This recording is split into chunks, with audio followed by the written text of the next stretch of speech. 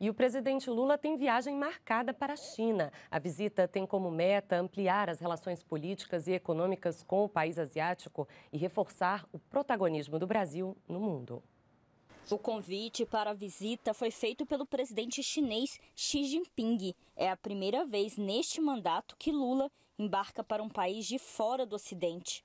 Segundo o Ministério das Relações Exteriores, cerca de 20 acordos serão fechados em temas como agricultura, energia limpa, ciência e tecnologia e combate à fome. Tem como objetivo o aprofundamento da parceria estratégica global, que o Brasil e China têm desde 2012, são dois grandes países em desenvolvimento. As duas nações têm mantido diálogo por meio de grupos como o BRICS, formado por países de economia emergentes, e o G20, que reúne as maiores potências mundiais.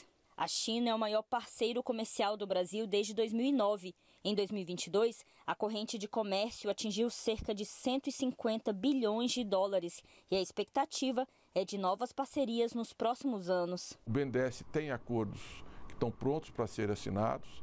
Nós queremos trabalhar numa gama muito ampla de projetos de parceria com o Banco de Desenvolvimento da China, com o Banco dos BRICS. Além de fortalecer o comércio, a visita do presidente Lula à China deve também ajudar o Brasil a se posicionar como mediador internacional.